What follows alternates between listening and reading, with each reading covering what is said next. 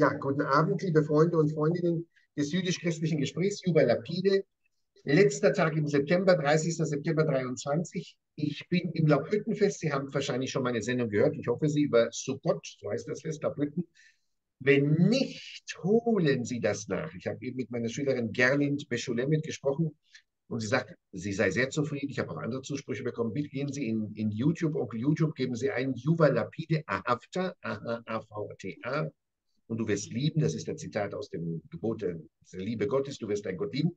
Und dort geben sie einfach ein Juva Lapide. Sukkot, Laubhüttenfest, habe ich nicht sehr, sehr schön, darf ich wirklich sagen, dank der Gnade Gottes ausgelegt, was das in der Tiefe bedeutet, sieben Tage lang in die Laubhütten zu gehen. Meine Frau in Deutschland, Deborah, grüßt jeden herzlich, der sie kennt. Sie hat draußen auf unserem riesen Balkon eine fantastische Laubhütte gebaut, die Jesus nicht hätte schöner bauen können. Natürlich hat Jesus auch eine Laubhütte gebaut. Das ist ja älter als Jesus. Kurzum, das finde ich so schön, das möchte ich Ihnen allen sagen. Wenn Sie heute durch die Straßen von Jerusalem und ganz Israel gehen, Sie sehen eine Laubhütte nach der anderen. Das ist so berührend. In Deutschland ist es vielleicht eine Hütte in der ganzen Stadt. Aber in Israel sehen Sie pro Wohnung eine Hütte. Und ich war heute im Gottesdienst und mit meiner Frau und habe tausend Leute gesehen. Das ist so schön, wenn Sie wirklich sehen, dass dieses Gebot Gottes und ihr werdet in Laubhütten sitzen, in Levitikus 23, ganz konkret wird. Das ist nicht trockene Theorie sondern das ist leibhaftig. Und sie gehen durch die Straßen von Jerusalem und ganz Israel und sie sehen eine Hütte nach der anderen.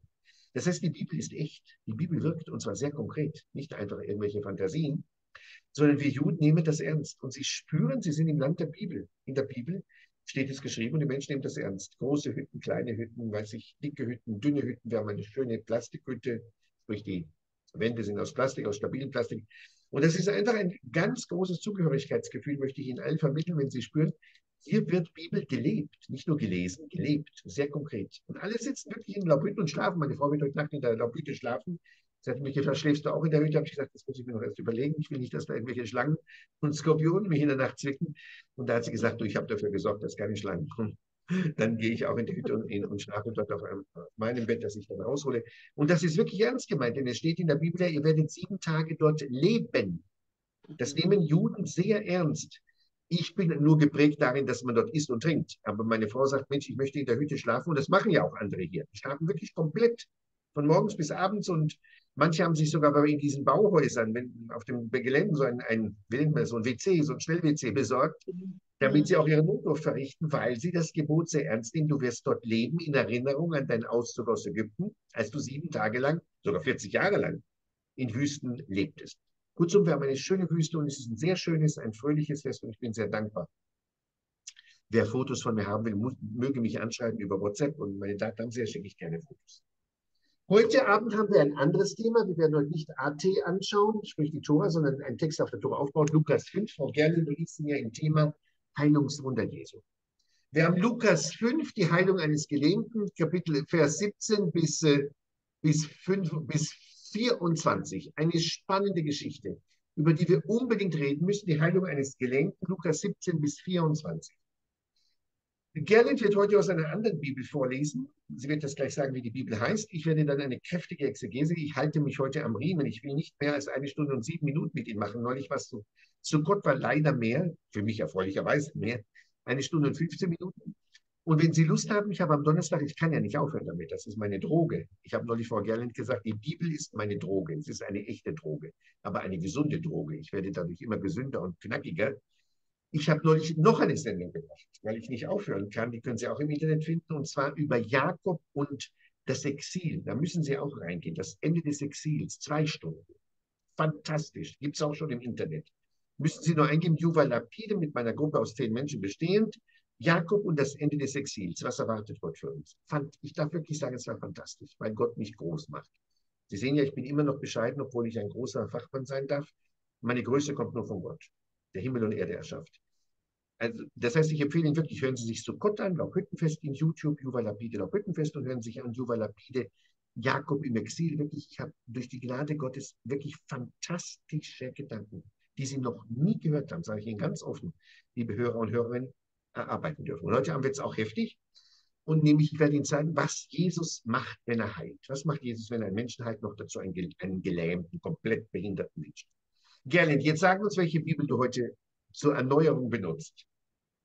Ja, ich lese heute aus dem sogenannten neuen jüdischen, äh, also das jüdische Neue Testament in der Übersetzung von David Herr Stern. Äh, David Stern ist also ein messianischer Jude und hat sich das hier zur Aufgabe gemacht. Und er benutzt äh, die originalhebräischen Begriffe. Also spricht er zum Beispiel von Parushim und das sind die Pharisäer. Und er spricht von Tora-Lehrern, das sind also die das, was üblicherweise in den Übersetzungen als Schriftgelehrte bezeichnet wird. Ja. Dann äh, ja, taucht nochmal der Begriff Galil auf. Galil, äh, auf. Galil ist Galiläa. Und ich hoffe, ich habe jetzt, und er spricht natürlich immer von Jeshua als äh, von Jesus. Ja. Und äh, bei Gott, äh, von Gott spricht er von Adonai. Ja, eines Tages, als Jeschua lehrte, waren Peroshim und Tora-Lehrer anwesend, die aus mehreren Dörfern des Galil, aus Jehuda und auch aus Jerusalem gekommen waren, und die Macht Adonais war mit ihm, die Kranken zu heilen. Ein paar Männer kamen und trugen einen Gelähmten, der lag auf einem Bett. Sie wollten ihn hineinbringen und vor Jeschua niederlegen. Doch sie konnten wegen der Menge keinen Weg finden, auf dem sie ihn hinein bekamen. So stiegen sie aufs Dach und ließen ihn auf seiner Trage durch die Dachziegel hindurch mitten in die Versammlung direkt vor Jeschua herab. Als Jeschua ihr Vertrauen sah, sagte er, Freund, deine Sünden sind dir vergeben. Die Tora-Lehrer und die Perushim dachten bei sich, wer ist dieser Mensch, der solche Gotteslästerungen ausspricht? Wer kann Sünden vergeben außer Gott? Doch Jeschua, der wusste, was sie dachten, antwortete, Warum bewegt ihr solche Gedanken in euren Herzen? Was ist leichter zu sagen? Deine Sünden sind dir vergeben? Oder steh auf und geh? Doch seht, ich will euch beweisen, dass der Sohn des Menschen die Vollmacht hat, auf Erden Sünden zu vergeben. Dann sagte er zu dem Gelähmten, ich sage dir, steh auf, nimm deine Trage und geh nach Hause. Augenblicklich stand er vor aller Augen auf, nahm hoch, worauf er gelegen hatte, und ging nach Hause und lobte Gott. Verwunderung überwältigte sie alle und sie machten Gott eine Berascha. Sie wurden von Ehrfurcht ergriffen und sagten, wir haben heute außergewöhnliche Dinge gesehen. So, ja. Berascha habe ich natürlich nicht äh, erklärt. Ja. Das ist also ja. die Segnung. Genau, genau. Liebe Freunde und Freundinnen von Jubal und Frau Gerlind, eine Wahnsinnsgeschichte. Und ich werde heute wirklich ein rauspressen, ein multiples exegetisches Konstrukt, weil die Geschichte mich immer schon sehr beschäftigt hat und weil es dazu einfach Missverständnisse gibt. Es gibt dazu so viele christliche Missverständnisse.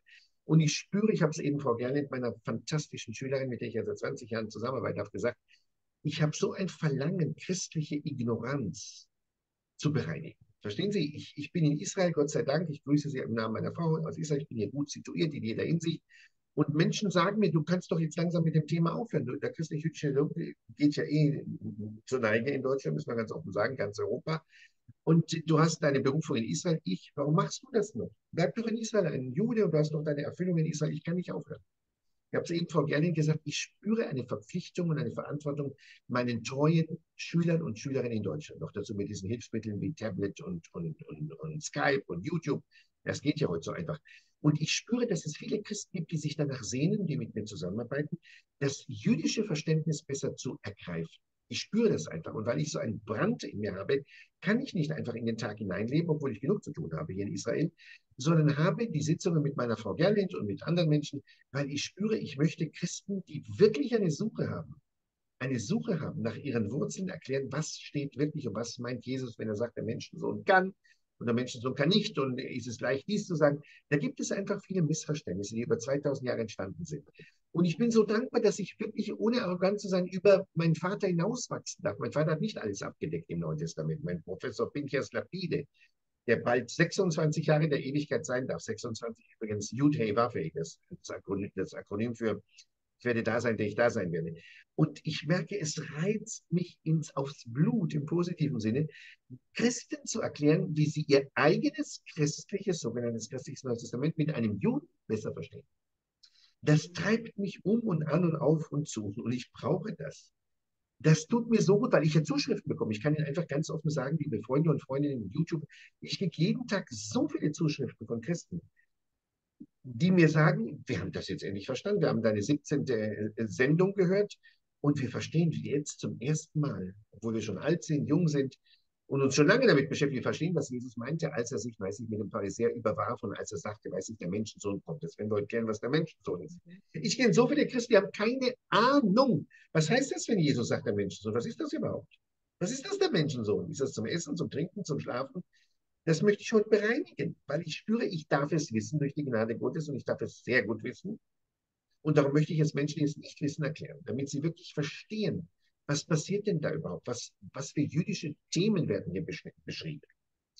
Und der Umfang war an, es begab sich an einem Tag, dass er lehrte, ich habe hier die Schlachterübersetzung, die, die leichte ist, wir haben nun beide vor uns, und es saßen Pharisäer und Gesetzeslehrer, die werden wir auch und kamen, die aus allen Flecken von Galiläa und, Judäa und von Jerusalem gekommen waren. Hast du das auch bei dir stehen, Gerli, das du vorhin vorgelesen, die aus allen Flecken von Galiläa und Judäa äh, nach Jerusalem kamen? Sagt das Schlacht, sagt aus das Galil? Ja, er schreibt, äh, die aus mehreren Dörfern des Galil, aus Jehuda und auch aus Jerusalem genau. gekommen waren. Also, so, dazu muss ich sofort was klären. Wissen Sie, liebe Freunde und Freundinnen von Jubel und Gerlind, ich schätze Lukas sehr. Ich liebe Lukas. Aber Lukas nimmt sich manchmal dichterische Freiheit, nennt man das, die so in der Realität nicht passieren kann. Das ist zum Beispiel so eine, Realität, eine, eine Übertreibung, die ich mir nicht vorstellen kann. Warum sollen aus allen Flecken Israels die Gelehrten kommen und ein Wunder Jesu sehen. Ich sage ganz oft, das ist nicht plausibel. Ich kenne mich sehr gut aus in der Bibel, sehr, sehr gut. Und das ist nicht plausibel, dass Menschen aus ganz Galiläa, noch dazu aus Jerusalem, nach Galiläa in das letzte Loch auf der Pampa, auf der sogenannten jüdischen Pampa kommen, um zu sehen, wie Jesus einen Menschen heilt. Er hat ja dauernd geheilt. Jesus heilt, wir machen doch einen Zyklus, Frau Gerlind und ich. Er heilt rund um die Uhr, so wie ich rund um die Uhr Vorträge halte. Das ist doch überhaupt nicht nötig, dass aus Jerusalem, ich bitte Sie, denken Sie einfach tiefgründig nach, Warum soll ein Mann, in Jerusalem gibt es heute auch genug zu tun. Niemand kommt aus Jerusalem. Ich wohne ja auch hier in der Nähe von Galiläa mit meiner Frau. Da kommt doch kein, kein Mann, um zu sehen, was ich mache oder was andere Rabbiner machen. Das ist doch völlig unpassend. Warum macht das Lukas? Weil Lukas die Größe Jesu darstellen will und, und jetzt kommt, zeigen will, wie Jesus trotz seiner Spannungen integriert war im Judentum seiner Zeit. Ich wiederhole, Jesus ist ein ganz großer Mann. Sie sehen, wie ich als Jude über ihn spreche, dass ich kein Christ und nie Christ werden werde.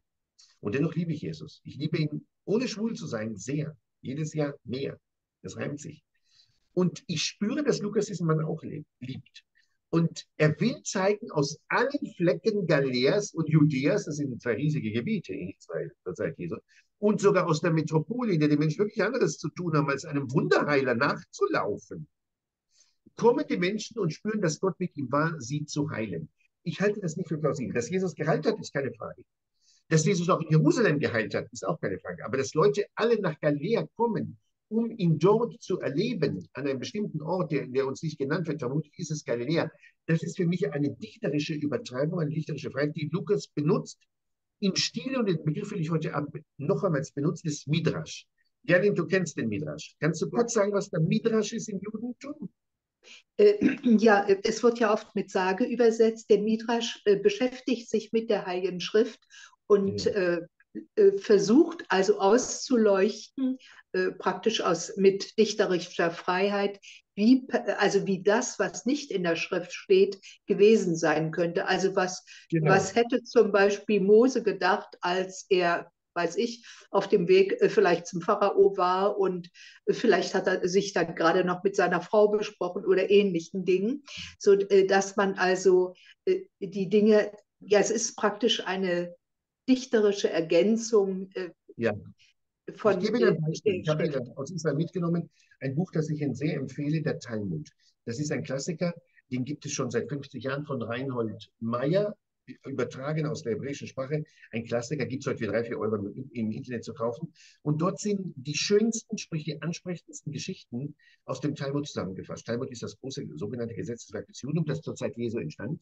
Und dort sind Tonnen von Geschichten, wie Frau Gerlin sagte, über das, was, wie mein Vater sagte, zwischen den Zeilen steht. Verstehen Sie, es steht in der Tora viel in den Zeilen, aber ein großer Künstler schaut, was steht zwischen den Zeilen. Und in diesen vielen Seiten, die ein deutscher Sprach rausgab, finden Sie, Sie sehen, ich habe hier allein hier, weiß ich, 50 Lesezeichen, um die wichtigsten Geschichten immer griffbereit zu halten, Sie werden sich wundern, wie viel Midrash in diesem Text drin ist. Das heißt im Klartext, ohne Midrash können Sie Jesus und das Judentum nicht verstehen. Lukas war ein Kenner des Midrash. Warum weiß ich das?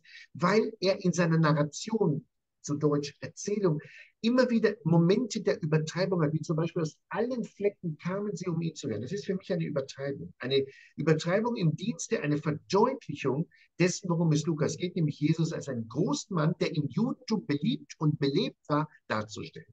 Das finden Sie bei Lukas häufig. Das mindert nicht seine Leistung. Wie gesagt, dieses Buch, das ist von keinen kleinen Mäusen geschrieben. Das ist die, das Herzstück, die Grundidee des Judentums nach der Tora, der Talmud. Dort haben Sie eine Fülle von spannenden Erzählungen, die zwischen den Zeilen stehen. Wie Frau Gerlin sagt, über Abraham, Isaac, Jakob, Josef. Ich bin geprägt worden und nicht nur ich. Alle großen Professoren des Judentums, die nennenswert sind, kennen den Midrash. Ohne Midrash verstehen sie die Tora nicht. Es gibt die Tora, das sind die handfesten Fakten, die uns die Schrift berichtet. Und Sie müssen eins bedenken, wenn Sie Neues Testament lesen, zum Beispiel unser Lukas, ist das ja nicht die Heilige Schrift. Das ist ja eine Beschreibung. Lukas schreibt ja eine Epistel. Sein Evangelium ist ja eine Epistel, sein Brief, den er schreibt an, die, an einen gewissen Theophilus und an Menschen, die sich ja neu beschäftigen wollen mit dem messianischen Glauben. Das heißt, es ist nicht Heilige Schrift, ganz sauber ausgesprochen. Lukas schreibt einem Theophilus, was er gehört hat über Jesus und was ihm zusagt über die Gestalt Jesu. Und er bedient sich, sage ich Ihnen ganz offen, das macht ihn nicht klein, das macht ihn groß und jüdisch, dichterischer Freiheit. Und zum Beispiel die Geschichte, es war ein Tag, dass er lehrte, das ist auch typisch jüdisch, Jesus lehrt. Ich kann auch nicht leben ohne Lernen. Es geht nicht. Jeden Tag muss ich lernen. Und sei es hier, mein, sei es hier meine Juden und nun heute Abend Sie Christen und Interessierte am, am Wort Gottes.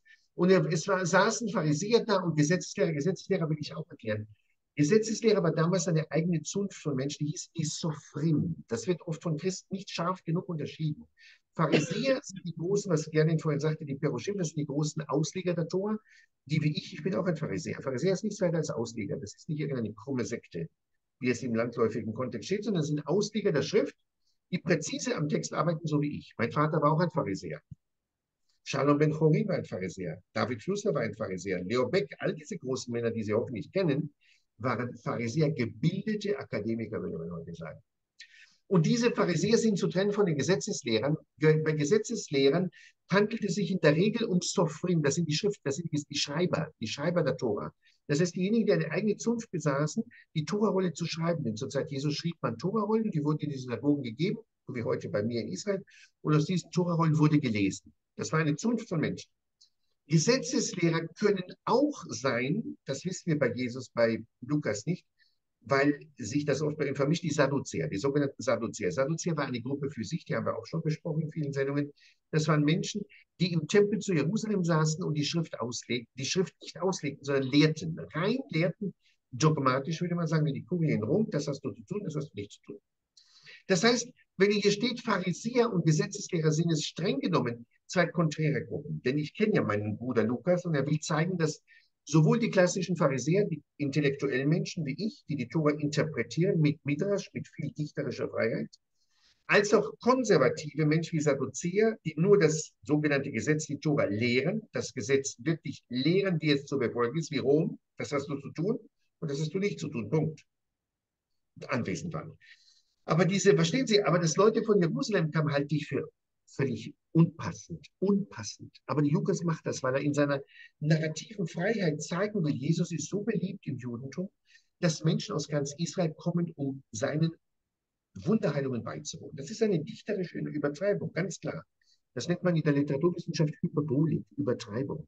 So wie wenn ich sage, weiß ich, ein Popstar kam nach Mönchengladbach in die Arena, Gerlind Segel und weiß ich, ganz Deutschland war hingerissen. Natürlich war ganz Deutschland nicht dabei. Das sagt man ja auch im Deutschen, ganz Deutschland hingerissen. Meint man vielleicht eine große Menge, aber nicht ganz Deutschland natürlich. Angela Merkel war bestimmt nicht da.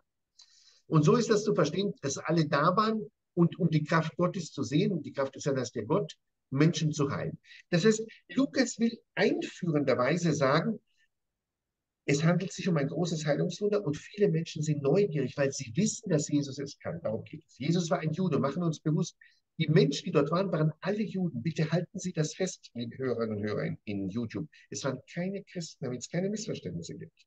Es war nicht eine halbe christliche Person dort. Es gab ja kein Christen. Weil ich, viele Menschen, mit denen ich spreche, mir sagen, das waren doch Christen und es war, Jesus war ja Christus, war ja alles, war überhaupt nichts christlich. Gar nichts war christlich. Null. Hoch null. Nur Juden waren fasziniert von der jüdischen Wirkungskraft dieses Jesus. Und siehe Männer trugen, jetzt kommt eine Geschichte, von der ich auch denke, sie kann konstruiert sein. Es gibt sowas sehr selten in der Narration des Midrash, dass ein Mensch, der sehr gelähmt war, von oben nach unten hineingebracht wurde. Man, das war alles belegt, das soll ja auch dafür sprechen, dass alle Menschen hingen an den Lippen Jesu und erleben wollten, wie er Menschen heilt. Das soll ja die Größe Jesu darstellen. Lukas macht das grandios, viel Spektakel. Midrash heißt immer, aufblähen, aufbauen, aufbrausen, aufblähen, aufbauen, aufbrausen. Das ist typisch für Lukas. Warum? Weil er ja Heiden gewinnen will, sagt er ja am Anfang Theophilus. Ich will Menschen gewinnen, das braucht er. Und darum braucht er das, was man nennt Glamour, viel Glamour, viel Äußerlichkeit. Aber berechtigte Äußerlichkeit, kein schmutziges Theater, sondern wirklich überzeugend. Viele Menschen sind da und das ist sogar so stark besucht, weil sich eine, eine Situation mit, einem, mit einer Lehre, er lehrt ja, ein Jude lehrt, vor Juden. Und auf einmal will ein Mensch kommen und er kommt nicht hinein und er möchte einfach, wie es hier steht, auf einen Menschen, der gelähmt war, und sie sucht ihn einzubringen, denn er wollte lehren. Es ging ja noch gar nicht mal um die Wunderheilung, er lehrte sie ja. Und dieser Mensch sagt, ich möchte hineinkommen und es geht nicht und er muss dann über das Bett hineingetragen werden in die Mitte vor Jesus. Und wir hatten ja letzte Woche die Geschichte mit der, mit der verkrümmten Frau und das ist etwas sehr Ähnliches. Die Menschen bringen ihn in die Mitte vor Jesus. Bitte überlesen Sie das nicht in Vers 19. Das ist ja schon ein Teil der Heilung. Der Mensch sagt, ich bin so krank, wir wissen nichts Näheres, gelähmt ist heftig genug und er drückt aus, ich möchte diesen Mann, den Juden, ein gelähmter Jude natürlich, nicht ein Chinese, ein gelähmter Jude möchte Jesus, Jehoshua, ich sage gern Jehoshua, der Erlöser ist Gott, sehen. Und er sieht, dass die Menschen alles tun, um dem Menschen diesen Gelähmten die Möglichkeit zu geben, ihn hinunterzubringen. Und auf einmal sagt er, der Mensch, seine Sünden sind dir vergeben. Jetzt will ich Ihnen etwas sagen, was in der Symbolik es bedeutet, einen Menschen auf, von dem Dach hinunterzubringen. Sie stiegen auf das Dach und stießen ihn mit dem Bett durch den Ziegel hinunterzubringen. Das ist für mich auch ein Midrash, muss ich Ihnen ehrlich sagen. Und ich wiederhole, es diskreditiert Jesus überhaupt nicht. Und Lukas auch nicht, wenn ein Mensch über das Dach hineingebracht wird. Natürlich ist das sehr konstruiert. Ich halte es nicht, ich kenne keine Geschichte aus der Bibel, aus dem Ersten Testament, und aus dem Talmud, den ich auch sehr gut kenne, die ich Ihnen sehr empfehle, Goldmanns Bücher von Reinhold Meyer, in denen ein Mensch äh, über ein Dach hineingezogen wird. Das ist mir nicht bekannt. Und ich kenne die Bibel sehr gut.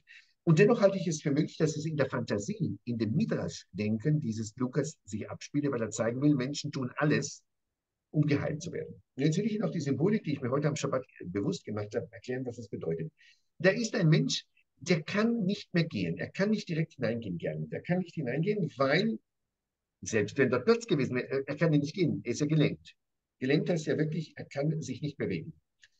Und ich will zeigen, ich, ich will zeigen, dass Lukas uns vermitteln will, der Mann muss von oben durch Gottes Gnade heruntergebracht werden. Das heißt, für mich ist es auf der symbolischen Ebene eine Neugeburt dieses Mannes. Er wird von oben durch Gottes Berührung, vom Dach, Dach steht immer für oben, hinuntergeführt, hinuntergebracht in die Gemeinschaft mit Jesus, damit er dort durch die Berührung mit ihm, er, der von der Höhe Gottes kommt, eine neue eine Neubelebung, eine neue Erfahrung macht. Das ist für mich die, die Symbolik, von der ich überzeugt bin, dass Lukas sie wusste. Jesus natürlich wusste das auch, aber wir sind ja erstmal in der Schicht, Lukas berichtet über Jesus. Wir sind ja gar nicht so weit, was Jesus denkt. Von Jesus wissen wir ja gar nicht, ob der Mensch wirklich gelähmt war und wie er runterkam. Aber Lukas will es so inszenieren, da kam ein Mann von oben herunter. Lukas hätte das doch unkompliziert machen können. Wir sagen ganz offen, Lukas hat doch dichterische Freiheit, er kann alles machen. Wer will ihn kontrollieren? Wer will ihn kontrollieren? Aber ich denke, dass Lukas zeigen wollte, hier passiert etwas Außergewöhnliches, nämlich von oben herab, ich kenne auch die berühmten Lieder zu Weihnachten, von oben herab komme ich herunter, bringe gute mehr, die Symbolik ist für mich hier wichtig, sehr wichtig. Ein Mann wird von oben nach unten gebracht, das heißt, er bekommt göttliches Geleit, so als würden ihn Engel heruntertragen, damit er in die Nähe dieses Erlösers, Gott ist mein Erlöser, kommt und Jesus sich bewusst wird, durch allein durch das heruntergefahren werden, da ist ein Mann, der alles bereit ist zu tun, um endlich geheilt zu werden. Im Gegensatz zu letzter Woche muss, sagt der Mensch ja gar nichts über seine, seinen Zustand. Es kommt zu keinem Gespräch mit dem Mann. Aber die Tatsache, dass er heruntergebracht wird und vor Jesus steht, vor Joshua steht, spricht Bände. Ich habe ja gesagt, wenn Jesus, Joshua, ein großer Mann neben anderen Wunderheilern, einen Menschen vor sich sieht, die Mimik, die Gestik und die Rhetorik, der durchschaut den Menschen sofort. Und allein, wenn er dieses Wunder erleben darf, der Mann hat andere Menschen gebet, gebeten, holt mich mit dem Bett runter, holt mich runter, ich möchte den Mann erleben. Er kommt nicht rein, und ist alles zu. Und, dann, und wie steht es dann da? Und er, und er liegt nicht, er steht ja nicht. Er liegt vor Jesus und der Blick in, den, in des Mannes Augen eröffnet Jesus sofort das Blick. Davon bin ich fest überzeugt. Ob der Mann gestanden hat oder gesessen hat oder gekrochen ist oder gesprungen ist. Wenn Jehoshua, ein Mann seines Formats, einen Menschen in die Augen schaut, weiß er sofort, was nicht stimmt. Er weiß sofort, was nicht stimmt. Und darum sagt er, als er ihren Glauben sah, sowohl den, den Glauben der Menschen, die ihn hinunterbringen, als auch den Glauben dieses Mannes. Und jetzt kann man sich natürlich fragen, wie sehe ich einen Glauben? Gerlind, wie, wie erklärst du dir, wenn da steht, als er ihren Glauben sah, du kannst doch keinen Glauben sehen, du kannst den Glauben hören. Was meint Nein, er damit? Ja, er kann es natürlich insofern sehen, als sie äh, im Grunde alles Menschenmögliche gemacht hatten, haben, genau. um den Mann vor Jesus zu bringen. Denn äh, also ja. wenn sie jetzt wirklich meinetwegen irgendwas am Dach abgedeckt haben oder wie auch immer, auf jeden Fall haben sie sich eine Menge Mühe gegeben, mhm. den Mann zu Jesus zu bringen. Äh, ja, no? Ne? ja. Und das ist nämlich der sichtbar werdende Glaube. Können Sie alle zu Hause notieren. Das ist der sichtbar werdende Glaube. Glaube muss sichtbar werden. Auch im hebräischen Original steht, sah, er sah ihren Glauben, nicht er hörte. Gesprochen wurde ja gar nichts, sie bringen ihn einfach runter. Und Jehoshua, dieser Mann Gottes, sieht sofort, dass hier, dass hier die Macht des Glaubens wirksam ist. Denn dieser Mann glaubt ja, wenn ich diesem Mann begegne, er kann, die kannten sich nie, so wie alle Heil, Heilbedürftigen Jesus nie gekannt haben. Es hat sich nur herumgesprochen. Denken Sie daran, was die Syrophönizierin sagt und andere Menschen, ich habe gehört, dass du das kannst. Die kannten ihn ja ganz, hat sich herumgesprochen. Mhm. Und wenn er sagt, ich sehe den Glauben, dann sehe ich, dass der Glaube Früchte trägt, was ja für Jesus immer wichtig ist. Der Glaube muss Früchte tragen.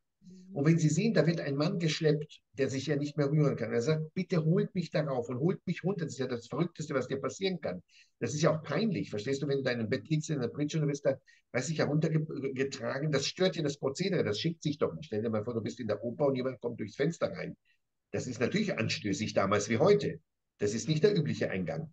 Aber genau diese Unüblichkeit, die provoziert Jesus. Diese Unüblichkeit, die Unkonventionalität dieses Mannes, der sagt, es ist mir wurscht, was das Volk denkt. Die können denken, was sie wollen. Ich will zeigen, wie weit mein Glaube in die Heilungskraft Jesu und seine göttliche Berufung geht.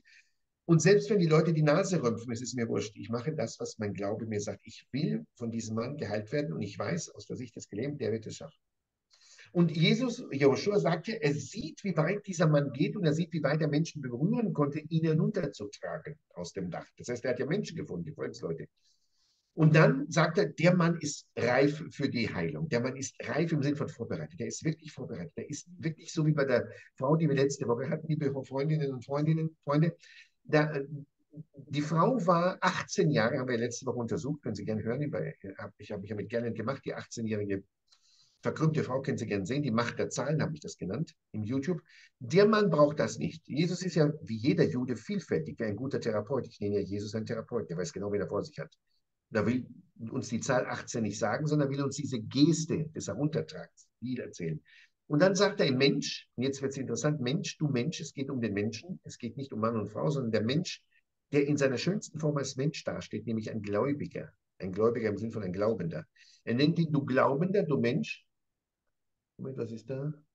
Nee, alles klar, ich habe nur eine Mitteilung bekommen. Verstehen Sie? Und dann sagt er, Mensch, und jetzt kommt deine Sünden sind dir vergeben. Da gibt es ein Riesenproblem bei Christen. Bei Christen dann sofort, viele, nicht alle, denken, Jesus vergibt Sünden. Das ist nicht der Fall, Gerrit. Warum ist das nicht der Fall? Warum hat Jesus nicht Sünden vergeben? Ich lese den Satz vor, den hast du ja auch vorhin vorgelesen. Achten Sie auf diese Passivkonstruktion. Deine Sünden sind dir vergeben. Hast du noch auch vorgelesen bei? Ja. Mhm. Linde, warum ist es nicht richtig zu sagen, dass Jesus Sünden vergeben hat? Warum ist das falsch bis zum Exzess?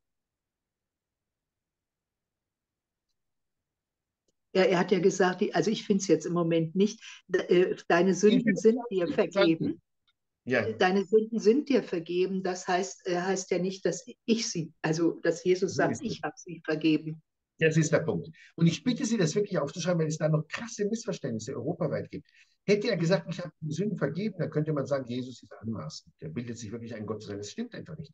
Und jetzt will ich Ihnen wirklich etwas sagen, um Sie zu belehren. Mein Vater hat das schon 50 Jahren in seinen Büchern verkündet, das habe ich bei ihm gelernt.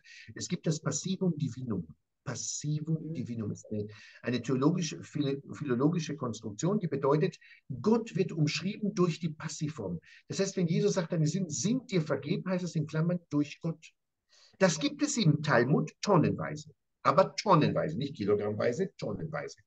Wenn man Gott nicht ständig in den Mund nehmen will, Gott hat das getan und Gott wird das tun, dann sagt man, dir wurde geholfen gerne. Dir wurde dein Gebet mhm. beantwortet. Und jeder Jude, der Niveau hat, und die Menschen dort haben natürlich Niveau, weiß, damit ist gemeint, Gott hat dein Gebet beantwortet und Gott hat dir deinen Wunsch erfüllt. Und das bringt sie wirklich zu ihrer eigenen Erleuchtung. Ich kenne das und Frau Gernin kennt das auch. Jesus hat überhaupt keine Sünden vergeben, weil er das als Jude natürlich nicht darf. Es sei denn, er bekommt dazu eine Vollmacht und das wird der zweite Teil des Textes sein. Aber zunächst mal sagt er ganz deutlich, deine Sünden sind dir von Gott vergeben. Gott ist die erste Instanz, die ihm die Autorität gibt, bevor er sein Bett nimmt und geht. Hör zu, deine Sünden, er, offensichtlich hatte der Mann Sünden, was ihn ja ans Bett gefesselt hat, im wahrsten Sinne des Wortes. Und diese Sünden sind ihm an diesem Tag durch Gott, darum die Passivkonstruktion, Passivum, Gewinnung vergeben. Woher weiß das Jesus? Weil er diese Autorität von Gott bekommt. Das machen auch andere Rabbiner. Das machen auch andere Rabbiner. Ich will Ihnen ganz offen sagen, bevor es zu diesem Eklat kommt in 21, wissen Sie, auch die, die Sadduzäer zur Zeit der Bibel, die Sadduzäer, die er hier mit Schriftgelehrten wiedergibt, unser Übersetzer, waren auch befugt, Sünden zu vergeben im Namen Gottes. Und die waren bestimmt keine Gestalten wie Jesus. Denken Sie an die großen Geschichten im Ersten Testament. Da bitte ich Sie im Buch Levitikus Kapitel 14, 15 zu lesen. Die Priester waren die Menschen, die Sünden vergeben durften. Beispiel, wenn sie Aussatz hatten zur Zeit der Bibel, eine furchtbare Krankheit. Konnte man und musste man den Aussätzigen zum Tempel bringen, in den Priesterbereich, der schaute sich das an, stellte fest, dass jemand Aussatz hatte, sonderte ihn im Lager aus und nach so und so vielen Tagen, sieben Tagen in der Regel, musste er kommen. Der Mensch schaute ihn, weiß ich, die Kopfhaut an oder an anderer Stelle in die mit, mit, mit, mit, äh, nicht mit Lepra, sondern mit einem echten, mit einem echten, mit einem echten na, Hautausschlag befallen war. Das war eine sehr schwere, spontane Hauterkrankung. Nicht übrigens nicht infektiös, darum auch nicht ansteckend. Nicht infektiös. Ich habe mit einem Arzt gesprochen, der zugleich die Bibel kennt. Das war nicht die berühmte Lepra, von der alle denken, das ist Lepra. Das ist überhaupt kein Lepra. Wenn in der Zeit Jesu von Aussatz gesprochen wird, ist es nicht die indische, die berühmte indische Lepra, die eine Infektionskrankheit ist, sondern das ist eine Hauterkrankung, ein schwerer Hautausschlag, der nicht ansteckend ist. Lepra ist hoch ansteckend. Aussatz ist nicht ansteckend. Du kannst jemanden streicheln bis zum Exzess und die Frau, du wirst keinen Aussatz bekommen, weil der Aussatz ja eine sogenannte Strafe ist, die nur du bekommst. Die kriegt ja kein anderer. Mhm. Lepra ist ansteckend, ist wie Corona. Mhm. Aber Aussatz, der in der Bibel genannt wird, ist nicht ansteckend, weil es ja nur den Menschen befallen soll, der sich unanständig benimmt dem anderen gegenüber. Mhm. Und darum möchte ich Ihnen sagen, dass die Priester selbstverständlich, die Kohanim, die Macht hatten, solchen Menschen zu sagen, zum Beispiel nach der Betrachtung, nach der Beschau, nach sieben Tagen, deine Sünden sind dir vergeben. Warum? Weil man sieht, dass diese, das Fleisch des Menschen wieder regulär war. Das heißt, es steht in der Bibel, dass der Aussatz bemerkbar war durch eine bestimmte sehr starke Gelbverfärbung und natürlich auch zerfallene Haut. Und der Priester schaut sich das an, der war ja damals zugleich ein Arzt und stellt fest, nein, das, was noch übrig geblieben ist, ist eine Rückbildung dieses Aussatzes. Du bist gesund, bring ein Opfer, du darfst nach Hause gehen. Das heißt, machen wir uns bitte bewusst, diese Autorität auszusprechen, deine Sünden sind dir vergeben, hat nicht nur Jesus. Viele Christen, die ich kenne, denken, das konnte nur Jesus. Das stimmt einfach nicht. Das stimmt nicht.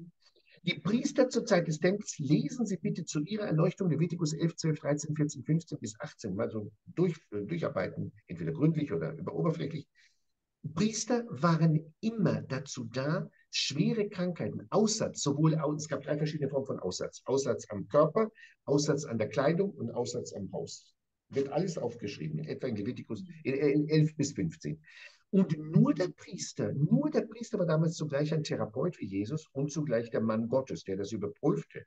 Und im Namen Gottes, wenn die Periode ablief, die sieben Tage der Absonderung und er nichts mehr feststellte oben, auch im Haar konnte das passieren, und er konnte dann sagen, Gerlind, du bist befreit von deinem Aussatz, bring bitte den wieder. Gott hat dir vergeben oder passivisch ausgedrückt, deine Sünden sind dir vergeben, du bist befreit, Gerlind. Das heißt, ich möchte Ihnen das Thema weit fassen. Diese Fähigkeit zu sagen, deine Sünden, Mensch, du Kind Gottes, ich sehe, dass deine Sünden vergeben sind, weil du mir gezeigt hast, durch deine Bereitwilligkeit herunterzukommen und durch deine Überprüfung deines Ausstrahlungsvermögens. Denken Sie, die Priester haben ja gerade Menschenkenntnis ohnegleichen sehe ich, dass der Tag gekommen ist, an dem du neu geboren bist. Du bist, deine Sünden sind dir von Gott vergeben. Du brauchst nicht mehr zu Angst zu haben, dass du weiterhin bettlägerig bist. Und verstehen Sie, Bettlägerigkeit schwere Lähmungen, wurden natürlich, ich will nicht sagen Strafe, höchstens in Anführungszeichen, ich nenne es gerne als Konsequenz Gottes betrachtet für die Verfehlung. Nochmal kurz zum Aussatz. Aussatz war wirklich in Anführungszeichen eine Strafe. In Anführungszeichen. Das heißt, wenn du dich schlecht benahmst einem anderen Menschen gegenüber, denken sie auch an Miriam, die ja aussätzig war, weil sie schlecht über ihren Bruder sprach. Aussatz bedeutet, deine Haut zerfällt, zerfällt wirklich und hat gelbe Flecken und ist wirklich zusammengeschrumpft. Das heißt, und das wusste man, steht auch in der Bibel, wer Aussatz bekommt, hat sich miserabel verhalten dem anderen gegenüber und muss, wie die deutsche Sprache es ja auch sagt, ausgesetzt werden, damit er zu sich kommt und sein Sozialverhalten überprüft in der Zeit, Gerlind, in der er in Quarantäne ist. Er sitzt in Quarantäne, steht auf Corona. Der musste wirklich ausgesetzt werden in die Einsamkeit außerhalb des Lagers. Und wenn er sich besann, das ist ja die Idee des Ausgesetztsein außerhalb des Lagers, wenn er sich besann und gemerkt hat, ich habe nicht gut gesprochen über Gerlind oder über Angela Merkel und bereue es, dann schwindet dieser Aussatz, so dass er wieder gesellschaftsfähig wird. Denn verstehen Sie, wenn jemand Aussatz hat, war er nicht mehr gesellschaftsfähig. Den hat man einfach nicht angefasst, weil er ekelerregend war. Nicht, weil er ansteckend war, weil es ekelerregend ist. Diese, dieses Geschwür ist furchtbar. Und der Mensch hat sich auch geschämt, sich in Gesellschaft zu begeben, mit so einem kaputten Erscheinungsbild. Das ist gewollt, damit der Mann sich zurückzieht, sich besinnt auf sein soziales Missverhalten, sich korrigiert, vor Gott auf die Knie geht im Klartext. Und wenn er sich nach sieben Tagen verändert, dann geht der Aussatz zurück. Das heißt, das ist eine Psycho, heute würde man sagen, psychosomatische Erkrankung, Gerrit. Eine psychosomatische Erkrankung. Psyche und Soma arbeiten zusammen. Ist die Psyche krank, ist der Körper krank. Darüber haben wir schon gesprochen. Ist die Psyche gesund, Gerrit, ist der Körper gesund. Das alte Spiel in der Psychosomatik. Jesus sagt es und er, er sagt es mit dem Brust und der Überzeugung. Ich bin davon überzeugt, durch deinen Glauben, den ich heute hier erlebt habe und deine Ausstrahlung, das sieht ja nur ein Doktor, nur der Doktor kann das, Dr. Jesus nenne ich ihn, Dr. Jesus. Dr. Jehoshua, Jesus sieht das und ich vertraue ihm, dass er das meisterhaft in den Augen, wie der Priester seiner Zeit gesehen hat, ob der Mann schon gesellschaftsfähig ist, sprich davor, davor steht, die Lähmung wegzubekommen. Noch ist die Lähmung ja nicht weg. Er hat dir nur gesagt, deine Sünden sind vergeben oder ob er das nicht ist. Das kann ein Mann von der Größe Jesu, noch ein Mann der Größe eines Hohepriesters in Jerusalem. Nun fängt das Theater an in Vers 21 und die Schriftgelehrten, das heißt, ich vermute Sadduzäer, die dort präsent waren, welche Art von Sadduzäer auch immer, ich nehme an Repräsentanten aus Jerusalem, die er dort haben will, Lukas, äh, die fragen, fragen sich, fingen an darüber nachzudenken und sprachen, wer ist dieser, der solche Lästerung spricht, wer kann Sünden vergeben? So. Und jetzt will ich Ihnen was ganz Großes sagen, was ganz Großes. Bereiten Sie sich vor. Wir heben ab auf 10.000 Kilometer Lufthansa bzw. El Al. Dieser Satz, wer ist dieser, der solche Lästerungen ausspricht? Wer kann Sünden vergeben als nur Gott allein? Das kann nur jemand stellen, der neidisch ist auf die Größe Jesu. Mhm. Das ich Ihnen ganz offen. Der nur stink, aber wirklich stinkneidisch, stinkgrauenvoll neidisch ist. Warum kann dieser Jesus mit 30 Jahren, der war ja 30 bis 33, wieso kann der Mann das? Der hat doch gar nichts gelernt, würde man sagen. Was hat der gelernt? Der ist doch kein Doktor, der ist doch gar nichts. Wieso kann der das? Und wissen Sie, wer das nur gesagt haben kann? Die Sadduzäer. Das können nur die Priester in Israel gesagt haben. Und zwar zur Zeit Jesu, das wissen Sie ja durch die Bücher meines Vaters, die Sie hoffentlich kennen. Mein Vater sagte, und nicht nur er, dass es eine Spannung gab zwischen Sadduzäern und Pharisäern. Die Sadduzäer waren die Besserwisser, so nenne ich sie. Die waren die Besserwisser. Die waren eine kleine Kaste in Jerusalem, manchmal nennt er sie auch die Schriftgelehrten, sie kannten die Schrift und lehrten sie stupide mit der Härte der Formalität, wie Rom es heute auch tut. Rom, der Papst sagt, du hast nicht zu onanieren und Rom sagt, du hast, weiß ich, ähm, nicht zu heiraten als, als, als, als Priester der katholischen Kirche und du musst an die Jungfrauengeburt glauben, ob es dir passt oder nicht. Und Empfängnisverhütungsmittel sind teuflisch etc. Rom verkündet, was ein Katholik zu tun hat und was er nicht zu tun hat. Punkt. Da wird nicht lange argumentiert. Das wird einfach befolgt oder du kommst in die sogenannte katholische Hölle. So müssen sie sich mit einigen Abstrichen natürlich, es gab ja keine Hölle, die, die Kurien, nenne ich sie, die jüdische Kurie in Jerusalem vorstellen. Die Sadduzäer waren machtbesessen, das wissen Sie alle, wenn Sie Neues Testament kennen. Die Sadduzäer waren eine jüdische Gruppe in Jerusalem, die machtbesessen waren und die nicht interessiert waren, in die Tiefe zu gehen. Das heißt, die haben, die hatten natürlich die Macht, wie zur Zeit Mose, jemanden freizusprechen von Aussatz. Das war ihre Kompetenz. Das stand ihnen zu, das mussten sie auch tun. Das steht ja im dritten Buch Mose. Das Buch war ja nicht abgeschafft. Aber wenn nun ein Mann kommt hier, der sowas sagt, was Sie nur sagen dürfen, dann sehen Sie einfach grün und blau und violett von Das ist meine Interpretation. Das heißt, es handelt sich hier nicht um ein christlich-jüdisches Thema, dass äh, Jesus sich als Christ darstellt und die Juden ein Problem mit ihm haben. Das ist falsch. Dieses Narrativ stimmt nicht.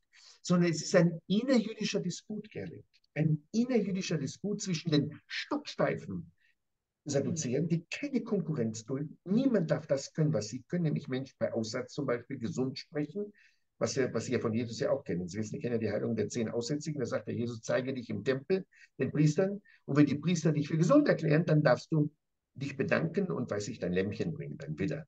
Das kennen Sie auch bei Jesus, wenn Sie das Neue Testament gründlich lesen. Das hat den Sadduzäern nicht gefallen. Das deutlich. Das hat ihnen gar nicht gefallen. Kann, wer ist dieser Lackel? Wer ist denn dieser, dieser möchte gern Heiler, der da sagt, ich habe Sünden, wer kann Sünden vergeben, die Gott leiden. Ich bin davon überzeugt, dass es nicht darum geht, Jesus diese Fähigkeit abzusprechen, sondern es ist die Fähigkeit, wer darf außer uns sowas tun? Das ist einfach Futterneid. Gerne, ich spreche es ganz hochdeutsch aus und für alle. Das ist primitiver Futterneid. Ich sage es Ihnen in aller Schärfe eines Professors, der sich sehr gut auskennen darf. Das ist primitiver Futterneid. Punkt. Die Sadduzäer dulden niemanden, niemanden, Gerlind, der außer, diese, außer ihnen die Fähigkeit hat, einem Menschen, ob er gelähmt oder schwul ist, weil irgendwas hat, zu sagen, deine Sünden sind dir vergeben. Und das verpackt Jesus so, dass der Eindruck entsteht, Jesus habe etwas gemacht, was sich nicht schickt, wobei er das überhaupt nicht gemacht hat, sondern wer kann Sünden vergeben, als nur Gott allein heißt, nur wir haben diese Fähigkeit, wir die ihnen ja wirklich zustand. Und was erlaubt sich dieser Mann? Das ist dieser innerjüdische, ich wiederhole sehr deutlich, um ihnen wirklich Wissen zu geben. Wer ist dieser Jesus, der sich einbildet, er könne uns, sagen wir es mal ganz deutlich, ins Handwerk pfuschen? Sie sehen, wie ich mich gut auszudrücken vermag. Warum pfuscht uns dieser Mann ins Handwerk? Der ist doch gar nichts. Was ist denn dieser Mann überhaupt? Der ist doch gar kein Sadduzäer, der darf das doch gar nicht. Und noch dazu, wenn das Volk an seinen Lippen hängt, das macht sie doch rasend vor Wut. Rasend! Den, das, den, den, den läuft doch, er läuft den, den Rang ab. Verstehen Sie? Wenn die Sadduzäer, die Macht besessen in Jerusalem sitzen, nun merken, das ist ja ein Wunder nach dem anderen, dass der Mann treibt. Letzte Woche hatte doch die, die äh, bucklige Frau, die, die verkrümmte Frau geheilt, dann heilt dann, wir haben ja noch mehr Heilungen vor Frau Gerlindrich, der Mann heilt einen nach dem anderen. Es steht ja da, dass das Volk sich ja scharenweise um den Mann stellte und er heilt einen nach dem anderen. Das heißt, damit schwindet die Autorität der Sadduzäer. So deutlich Ihnen das als Fachmann. Die Autorität der Sadduzäer, allein, das Alleinmonopol, schauen Sie, wie gut ich mich auszudrücken vermag. Das Alleinheilungsmonopol, Gerling, das Alleinheilungsmonopol schwindet dahin, und zwar markant. Und wenn jemand, um es sehr deutlich zu sagen, Minderwertigkeitskomplexe hat, und zwar große Minderwertigkeitskomplexe hat, mag der das gar nicht, dass da Konkurrenz entsteht. Da entsteht harte Konkurrenz vor der Tür, Gerling. Irgendein hergelaufener, halt nackter Mann kommt aus Nazareth, aus einem Loch in Galiläa, und die Menschen sind überwältigt gerne. Das ist nicht christlich-jüdische Spannung, das ist innerjüdische Spannung zwischen einer, wie mein Vater sagte, korrupten Gruppe in Jerusalem, die es nicht duldet, wenn andere Menschen wagen, mit noch mehr Charme und noch mehr Kompetenz Menschen mit einem Fingerschnipsen zu heilen. Das macht ihnen Angst und macht sie minderwertig. Da fühlen sie sich so klein wie eine Maus. Da fühlen sie Minderwertigkeitskomplexe. Und das sehe ich, dass diese Empörung, wer ist dieser Mann? Denn das stimmt nicht, der hat doch gar nicht gelästert. Gelin scheint doch deinen gesunden, göttlichen Mensch verstanden. Der hat doch überhaupt nicht gelästert. Das ist doch Unsinn, Gelinde. Aber wenn du bedenkst, dass da Psychopathen sitzen, Sie sehen, ich kann auch über meine Juden deftig sprechen, das sind Psychopathen, das, sagt, das sagen alle großen Historiker heute. Diese Sadduzäer waren wirklich psychopathologisch gestört weil sie machttrunken waren. Sie waren angesteckt durch die römische Besatzung und die war ja auch machtbesessen. Also haben sie sich von denen anstecken lassen. Law and Order. Es geht nur das nackte Diktat der Macht. Und da kommt ein Jude und sagt, ich brauche das überhaupt nicht. Ich brauche euch überhaupt nicht mehr. Ihr könnt abtreten. Feierabend. Die haben Angst. Die haben Existenzangst, um sehr deutlich zu werden. Schauen Sie, wie schön ich das erklären darf. Sie haben Existenzangst, Geld. Wenn der Jude es weitertreibt, und er treibt es ja ohne Ende, dann sind wir entmachtet. Wer kommt denn dann zu uns noch, wenn er ein Problem hat? Die gehen doch alle zum Juden, zu diesem Juden Jesus. Kauft mehr bei Jesus, kauft mehr beim Juden. Und darum auch dieser psychopathologische Vorwurf, wer ist dieser, der solche Lästerung ausspricht? Das ist doch überhaupt keine Lästerung, Gerlin, liebe Freunde und Freundinnen. Was ist denn daran lästerlich? Jeder Priester sagt das, wie gesagt, beim Aussatz. Deine Sünden sind dir vergeben, beziehungsweise du bist frei vom Aussatz, weil du nicht mehr sündig bist. Geh, opfere dein Lamm. Das ist doch überhaupt nicht lästerlich, das ist doch widerlich, was, was da hineininterpretiert wird. Wo, wo, in der Hinsicht, dass, dass er wirklich eine Lästerung gesprochen habe, weil, er, weil Jesus über dem Judentum steht und die Juden ihn nicht verstanden haben. Das stimmt nicht. Die Juden kamen doch zu ihm zur Heilung. Diese Schwarz-Mainz-Malerei stimmt einfach nicht. Die Juden haben ein Problem mit Jesus, was heute noch grassiert im Internet. Die Juden haben ein Problem mit Jesus. Jesus ist der erste Christ und Jesus heilt im Namen des Vaters. Das ist doch so ein Bullshit, so ein Unsinn, so eine Peinlichkeit, wenn ein Christ so einen Unsinn heute noch wagt, im Oktober 23 sowas auszusprechen, so eine Nazi-Terminologie. Jesus ist der erste Arier. Jesus ist der erste Christ. Er zeigt, dass er die, die Dummheit und die, die Verblödung der, der Juden überwindet. Das ist Nazi-Denken. Schmutziger Antisemitismus, wenn Sie sowas heute noch denken, eine Schande bei Christen. Ich nenne ja keinen Namen auszusprechen, sondern ich sage Ihnen als Ihr Fachmann, da geht es nicht um Christentum versus Judentum, Jesus der Christ und die anderen primitiven Juden, sondern innerjüdisch nochmal. Sadduzäer haben ein Problem, das ist ganz klar. Sie leiden unter Minderwertigkeitskomplexen und sie wissen genau, dass sich in der Gesellschaft etwas tut, weil viele Menschen in Bewegung sind. Viele, viele Pharisäer können Wunder bewirken, nicht nur Jesus. Und das macht sie klein und darum erfinden sie, zumindest aus der Sicht des Lukas, diese, diesen Vorwurf, nämlich ähm, diesen Vorwurf, wer kann solche Lästerung aussprechen? Wer ist dieser Mann? Das ist überhaupt keine Lästerung. Aber aus der Sicht der Sadduzäer ist es eine Lästerung. Ich darf ganz kurz auch erwähnen, was mein Vater in seinem Buch schrieb, wer war schuld am, Jesu, am Tode Jesu. Sie wissen, das wird ja auch heftig diskutiert. Und es wird immer wieder dargestellt, dass die Juden ja schrien, kreuzigen, kreuzigen. Das stimmt einfach nicht. Das möchte ich nur kurz einwerfen. Das Schuld am Tode Jesu jüdischerseits natürlich nur die Sadduzäer war. Die paar Menschen, die auf dem Hof vor dem Präfekten schrien, kreuzigen, kreuzigen, haben Pontius Pilatus nicht veranlasst, ihn zu töten. Sondern wenn eine bestimmte Gruppe von Juden am Tode Jesu interessiert war, dann waren es genau diejenigen, über die wir heute Abend sprechen, Gerland, nämlich die Sadduzäer. Und da sage ich ganz bewusst die Sadduzäer, denn das war eine überwiegend homogene Gruppe von Menschen, die ihn nicht ausstehen konnten, wenn irgendjemand, noch einmal, damit es für sie wirklich deutlich wird, irgendjemand ihnen Konkurrenz bietet. Die können es nicht ausstehen, weil sie korrupt waren, weil sie, weil sie käuflich waren durch die Römer. Mein Vater nannte die Sadduzäer Römlinge, ist ein Wort meines Vaters. Ein schönes Wort, das ich Ihnen heute schenken möchte. Am, 9, am 30. September zu Ihrer Belehrung. Römlinge, Römsympathisanten, das waren Prostituierte, nenne ich das. Die, die Kurie, die jüdische Kurie der Sadduzäer waren Prostituierte, männliche Prostituierte. Das heißt, die haben alles gemacht, um Rom lieb zu sein. Und sie wussten ganz genau, wenn wir Juden nach Rom ausliefern, dann wird uns Pontius Pilatus und der römische Kaiser natürlich loben. Das war doch opportun. Juden sind schmutzige Menschen aus der Sicht der Römer. Und wenn man Juden ausliefert an Pontius Pilatus, den Präfekten in Jerusalem, mhm. und der das wiederum Rom reportiert, und da haben wir einen Juden gefangen, der ist gefährlich. Der wiegelt das Volk auf gegen Rom. Was meinst du, wie, wie, wie die Sadduzäer belohnt werden, wenn sie sagen, wir haben wieder so einen geschmacklosen Juden gefunden, der Unruhe stiftet? Und Jesus war natürlich ein Unruhestifter. Bitte machen Sie sich bewusst, Jesus, das Wort meines Vaters, war ein Unruhestifter. Der hat nicht für kuschelige Weihnachtsabende gesorgt, sondern er hat die Menschen zu Gott neu formiert. Und hat sie zu ihrer Eigenständigkeit, Gerlin, erzogen. Du bist verantwortlich für deine Heilung. Erst musst du dich verändern und dann sage ich dir, dass du im Namen Gottes freigesprochen bist, so dieser Mann im Bett. Das ist etwas Neues, diese Emanzipation, Gerlind von der Diktatur, schauen Sie, wie ich mich gewählt für Sie ausdrücken darf, durch Gottes Gnade, diese Emanzipation von der Diktatur, von der Omnipotenz der Kurie, der jüdischen Kurie in, in Jerusalem, ist einzigartig bei Jesus. Der erzieht sie zur Emanzipation, wohingegen die Römlinge, wie mein Vater sie nannte, die Kurie sie zur Deemanzipation, nämlich zur Versklavung, zur spirituellen Versklavung an die Kurie in Rom hält. Nur wir entscheiden, wer gesund wird, kein anderer Gerrit. Und der sagt einfach, ich mache das. Das reizt sie aufs Blut. Sie kochen vor Blut. Sie sieden gerne. Und dann geht es weiter, sagt Jesus, wir sind in Vers 22 da, aber Jesus, Joshua, sah ihre schmutzigen Gedanken, ihre neiderfüllten Gedanken. Der sieht das doch sofort, was da läuft. Und sah, antwortete ihnen, und jetzt kommt die Frage, ein Jude erkennst du immer an einer Frage, nicht an, an, an, an der krummen Nase. Was denkt ihr in euer Herzen? Das heißt, er sieht sofort, das Herz ist krank. Herz müsste Sitz der Weisheit sein, das Herz ist verdorben. Liebe deinen Gott mit ganzem Herzen. Kennen Sie das Deuteronomium 6,4? Und die, haben, die kennen das Wort Liebe überhaupt nicht, obwohl es in der Tora steht. Die kennen nur ein Gott. Besessenheit, Machtbesessenheit, Machtbesessenheit, Machtbesessenheit. Das durchschaut der Mann. Und er fragt sie auch provokant, was passiert mit euch? Wo ist die Liebe? Wo ist die, eure Liebe? Wo ist die Nächstenliebe? Wo ist Leviticus 19,18? Wer hafter, lehre echa, kamocha. Liebe der Nächste wie dich selbst. Darauf treten die doch mit Füßen. Denen geht es doch nur um Rechthaberei. Und dann geht es weiter in 23, das, was Christen auch nicht, viele nicht, viele nicht verstehen. Was ist leichter zu sagen? Jesus stellt gleich die zweite Frage. Er ist ein doppelter Jude.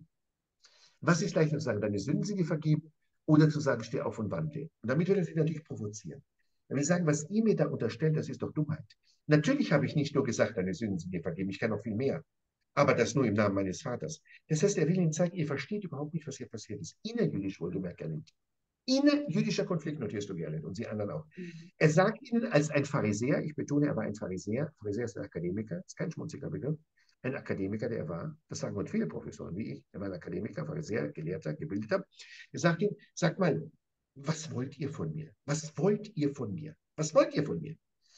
Ich, ich sage euch jetzt ganz oft, was ist leichter? Wenn ihr denkt, ich sei ein, ein, ein Pfuscher, der nur mich in den Vordergrund stellt, dann sage ich euch mal, dass das nicht stimmt. Und wenn ich sage, deine Sünden sind dir vergeben, meine ich natürlich Gott. Ihr denkt zwar, dass es leicht ist, sowas zu sagen, aber ich habe mir das natürlich überlegt, weil ich mit Gottes Autorität arbeite, was ihr nicht mehr tut. Ich habe das natürlich mit Gottes Autorität gesagt. Jesus kann ja gar nicht anders ändern. Sein Name ist doch schon Jehoshua, Gerlind. Sein Name ist verpflichtet sein Gott gegenüber, Gerlind. Das geht doch gar nicht anders. Das wollen sie doch nicht durchschauen, die Sadduzäer, nicht die Juden, nicht die Juden, die Sadduzäer. Die Juden waren ja gerade interessiert, an ihm zu hängen. Vorsicht mit den Juden. Das ist eine Nazi-Terminologie. Die Juden haben das Geld und die Juden sind unser Unglück. Darum geht es nicht. Und darum sagt er, was, was, habt ihr für einen Komplex? Was habt ihr für einen Komplex? Ihr habt einen Komplex, und zwar einen krankhaften. Und dann sagt er, natürlich habe ich das gesagt, aber jetzt sage ich euch noch etwas. Ich kann noch mehr machen. Ich kann dem Mann sagen, was er ja auch oft sagt, steh auf und wandle. Das heißt, ich werde gleich sehen, dass ich noch mehr Autorität habe, die ihr nicht habt. Es bleibt ja nicht nur dabei, dass ich, wie ihr sagt, die Sünden sind vergeben, Feierabend. Sondern ich werde ihm gleich sagen, steh auf, nimm dein Bett und geh, was bei Johannes 5 auch vorkommt. Und jetzt kommt der ganz wichtige Satz, den viele missverstehen in 24, nämlich damit ihr wisst, dass das Menschensohn Vollmacht hat und so weiter, sprach er. Jetzt müssen wir dringend klären, was ist der Menschensohn? Der Menschensohn ist ein Begriff, der bei Eli, bei Ezekiel vorkommt, und zwar 93 Mal. Den Begriff müssen wir umgeklärt, unbedingt klären. Ben Adam heißt streng genommen Adams Sohn. Gerne schreibt das auf, wir hatten das schon mal. Es ist Sohn ja. des Adams, nicht Menschensohn. Das wird auch falsch übersetzt. Ich wiederhole, das ist ein Begriff, der in der Eschatologie, in der Endzeitlehre des Propheten Ezekiel, 6. Jahrhundert vor, längst vor Jesus, benutzt wird, um den neuen Adam eine neue spirituelle Figur nach dem sündigen Adam zu porträtieren. Streng genommen heißt Menschensohn Adamsohn, Ben Adam, B-E-N-A-D-A-N darstellt. Das heißt, er will damit sagen, ihr versteht gar nicht, dass ich nicht aus mir handle. Denn, Gerlinde, jetzt mal Frage an dich für unsere Leute. Wie müsste Satz 24 lauten, wenn Jesus überheblich wäre und aus seiner Autorität heraus sich einbildet, alles machen zu dürfen? Rein grammatisch und philologisch, Gerlinde. 24. Ja, dann müsste es eigentlich heißen, damit ihr aber wisst, also ich habe jetzt Schlachter gerade, äh, dass, äh, dass ich Vollmacht habe, auf Erden zu geben. Ne? Gerling, und wie deutest du es, wir haben schon mal darüber gesprochen, dass Jesus, der sehr wohl ein Ich-Bewusstsein hat, nicht sagt, er könnte doch sagen, ich bin der große Mann, schau, was ich mache, ich schnipse und alles funktioniert. Warum sagt Jesus nicht, obwohl er keine Komplexe hat in Bezug auf seine Ich-Identität, mhm. warum sagt er, damit ihr aber wisset, dass ich auf, warum sagt er nicht, warum, dass ich auf Erden Sünden vergeben kann, sprach er zum Geleben, ich sagte neu. Warum meidet er das Ich? Er, kann, er hat sehr wohl bei Johannes Ich-Worte. Warum sagt er hier bewusst nicht Ich, sondern dieser noch nicht näher definierte Menschensohn? Wer ist dieser der Menschensohn? Ja, also ich, ich denke, es klingt im Moment vielleicht ein bisschen merkwürdig, dass es eine gewisse Verallgemeinerung ist, dass jeder, der nach Art dieses neuen Menschen lebt, oder mit Gott verbunden ist, diese. Fähigkeit hat. Brillant. Genau das wollte ich hören, Gerlin, mit. Jesus will sagen, und das ist der Höhepunkt unserer heutigen Sendung, es geht nicht um mich. Er kann natürlich sagen, ich, der hat keinen Komplex. Wer ein kleines, weißt du, beziehungsweise ist noch unreif, ein kleines Kind, mhm. weiß ich, wenn du ein Kind hättest, Juval, oder kann auch sagen, als ich, weiß ich, zwei Jahre war, habe ich gedacht, der Juval hat Hunger, Juval will essen, Juval will spielen. Jedes Kind sagt doch erstmal von sich in der dritten Person, weil es noch kein Ich-Bewusstsein hat. Das ist nicht das Thema von Jesus. Jesus leidet nicht unter defizitären Entwicklungszügen, sondern er will damit sagen, es geht mir gar nicht um mich. Es geht mir nicht um mich. Er will ja keine Titel, er will gar keine Titel, er will das gar nicht. Sondern er sagt, ich bin Teil eines viel größeren Geschehens, nämlich dem Begriff des Menschensohns. Jetzt sage ich noch etwas zu Ezekiel, den ich genannt habe. Das Buch Ezekiel, wenn Sie das bitte alle notieren, liebe YouTube- und YouTube-Freunde, ist das einzige Buch in der Bibel, in dem der Name des Verfassers nur einmal vorkommt, nämlich am Anfang Jecheskel. Es gibt kein Buch, damit Sie sehen, was ich Ihnen heute schenken darf, kein Buch in der Bibel, in der heiligsten Schrift auf Erden, in der ein Prophet nicht einfach genannt wird. Jesaja wird mit Jesaja genannt. Jeremia wird genannt mit Jeremia. Komm, Jeremia, geh. Und Amos, Sie kennen sich doch aus, sie wird immer mit Vornamen genannt. Wunderbar. Nicht so in dem großen Prophet Ezekiel. Ezekiel wird einmal am Anfang vorgestellt, Jecheskel macht dies und weiß ich, du bist der Sohn von. Und 93 Mal, die Zahl werde ich nie vergessen, 93 Mal, mehr als in allen Evangelien zusammen, wird der Begriff Menschensohn Ben Adam genannt. Das, damit Sie sehen, welchen Vorläufer, was viele Christen nicht wissen, dieser Terminus Theologicus im Neuen Testament hat. Ich wiederhole, 93 Mal, wissen Sie, was das heißt? Das ist mehr als doppelt so viel Erwähnungen von Menschensohn, mit denen ja Jesus natürlich immer wieder arbeitet. Aber Jesus arbeitet und Lukas auch aus einem Vorthema, nämlich dem Propheten Jecheskel. Und Jecheskel, Ezekiel auf Deutsch, ist der Prophet, der in der Endzeit lebt und gewaltige Bilder hat von der Endzeit. Und Gott spricht ihm, jetzt passen Sie auf, immer mit Menschensohn an. Er sagte nie Jecheskel, so als würde ich dir sagen, Gerlind, du Tochter Gottes. Als würde ich immer meiden, zwanghaft meiden, dich anzusprechen mit Gerlind Meshulemet und immer sagen, noch dazu in der dritten Person, die Tochter Gottes aus Mönchengladbach wird das sagen.